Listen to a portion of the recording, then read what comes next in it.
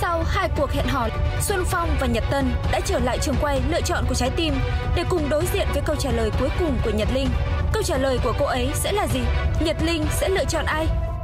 Trước khi em đưa ra lựa chọn của trái tim mình, em muốn chia sẻ với các anh về những cảm nhận ở buổi hẹn hò lâu. Anh Xuân Phong, anh hẹn em ở một quán bia cóc vỉa hè. Em tưởng anh bom em cơ, làm em như một đứa trẻ lạc vậy. Em tìm mãi mới ra được anh. Mà lúc mà em bước đến ấy, em tìm thấy anh em nghe thấy giọng hát rất là ấm áp xong rồi vài câu dí dỏm một cách ngẫu nhiên của anh tự dưng làm em xoa tan đi hết cái uh, nỗi bực mình. Thật ra trong đầu em ấy em luôn nghĩ rằng anh sinh ra là để làm nghệ thuật. Em cũng khá là lo sợ. Em không biết rằng là nếu có một người bạn trai làm nghệ thuật thì họ có ổn định trong tình cảm không. Nhưng mà khi mà anh chia sẻ về cái dự định startup của anh em nghĩ wow ừ, cũng có thể yên tâm về người đàn ông này.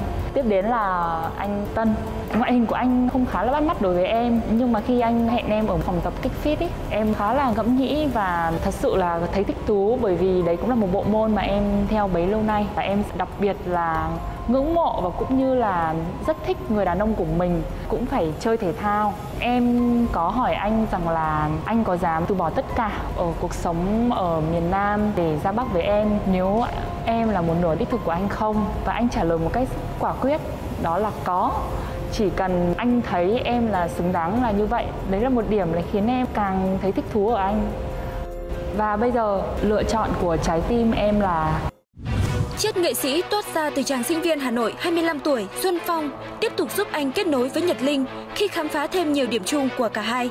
Nhưng liệu tâm hồn của chàng nghệ sĩ có trở thành con dao hai lưỡi khi khó khiến Nhật Linh cảm thấy an lòng? Liệu sau này anh tương lai anh có định gì không? Thật ra là sau anh muốn mở một cửa hàng quần áo. Anh rất thích về thời trang. Chàng doanh nhân mạng thời trang ở thành phố Hồ Chí Minh, Nhật Tân, thu hút Nhật Linh bằng niềm đam mê thể thao và sự bí ẩn của mình. Nhưng liệu phong cách nói chuyện cuốn hút có thể giúp anh loại bỏ điểm trừ khoảng cách địa lý trong lòng cô gái Hà Nội? Anh có dám bỏ cuộc sống ở Việt Nam để ra Bắc với em không? Khi mà anh tìm được em rồi, thì cái vấn đề ra Bắc là chuyện bình thường.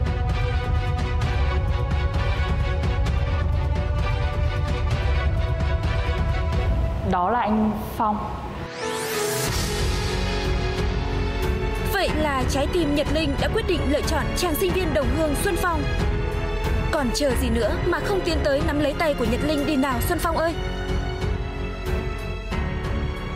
Cảm ơn em đã chọn anh Nhưng mà câu trả lời của anh là không đã lên cái phương án là cô ấy chọn mình Và mình sẽ suy nghĩ xem là mình có hợp với cô ấy hay không Để đưa ra một cái lựa chọn đúng nhất cho bản thân mình. Anh coi em như là hai thằng bạn vậy. Anh nghĩ là bây giờ chúng ta có thể làm một bạn tri kỷ rồi. Anh nói điều này ra em có thể là hơi buồn Hơi đau một chút. Nhưng mà anh có câu này cho em. Sau cơn đau chúng ta sẽ bất tử. Sau cơn đau ta chỉ đau thêm thôi Làm gì có chuyện bất tử. Hey boy Em nghĩ là người phụ nữ này sẽ hợp với anh hơn. Khi mà anh Phong đưa tay của mình cho anh Tân ý, mình cũng đang nghĩ ồ chuyện quái quỷ thì đang xảy ra đấy. Và Linh cũng rất là thắc mắc tại sao mà anh Phong lại có quyết định như vậy. Ở là một thằng đàn ông ấy nói được phải làm được. Hãy đưa cô ấy ra bắc. Chúc hai người có một quan hệ tốt. Thì sau thì cũng cảm ơn em đã mang tình đến mình ra và bây giờ thì mình xin phép được chào hai người. Là người được lựa chọn nhưng Xuân Phong đã có quyết định ra về đầy kinh ngạc. Giờ đây, hãy cùng đến với gương mặt thật của chàng trai cá tính Xuân Phong nhé. Tính cách, Xuân Phong có một gương mặt nghệ sĩ rất trẻ trung và cuốn hút. Liệu gương mặt này có khiến cho Nhật Linh thêm phần luyến tiếc hay không?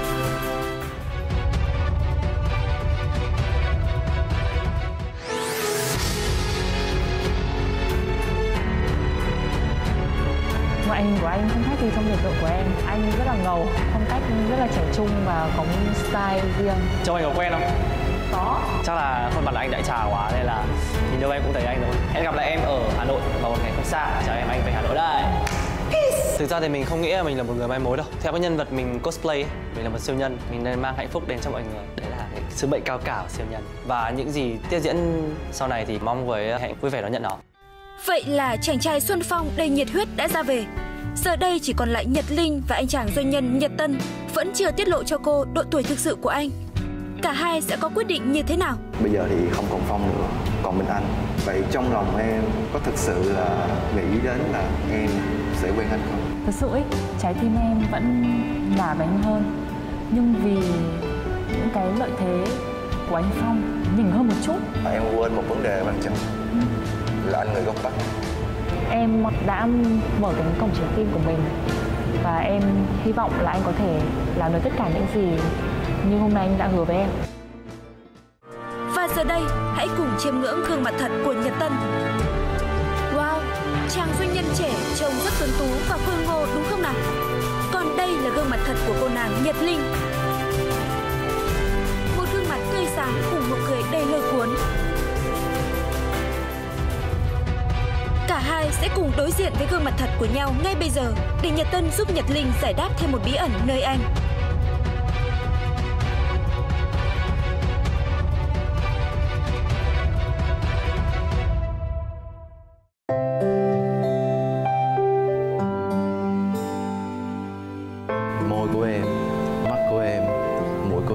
Mọi thứ đều hoàn hảo cho đến tận bóc dáng của em cũng vậy không được gì để nói lên được em xinh như thế nào em rất là tuyệt còn em nghĩ thế nào về anh Em rất là cảm ơn lời khen của anh dành cho em. Em ờ, khá là bất ngờ bởi vì trong trí tưởng tượng của em thì ngoại hình của anh sẽ chững chạc hơn nhưng mà nhìn anh vẫn rất là trẻ trung.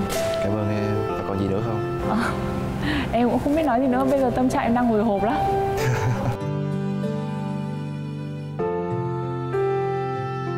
Chào cô gái Có một điều em vẫn muốn lý giải ngay bây giờ.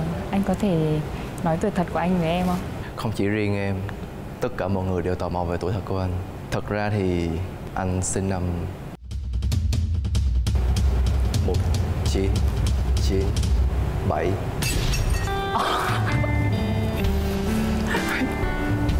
anh biết cảm giác này anh biết điều cảm này đó là thật Wow, mình là sốc toàn tập luôn chứ phải sốc bình thường nữa. Linh thích phải người lớn tuổi hơn một chút ít nhất là 4 năm tuổi anh Tân lại còn là người trẻ tuổi nhất trong ba người cơ nó phá vỡ cái quy tắc riêng của Linh trong tình yêu rồi em không biết là liệu anh có khiến em à, phá bỏ cái mặc định trong suy nghĩ là mọi đàn ông mà trẻ tuổi hơn em ấy thì họ vẫn đều là baby boy nếu em tin tưởng anh sẽ làm được chắc chắn là cơ hội đã đến rồi thì anh Yes. phải anh thất tay rồi. mà thực hiện thôi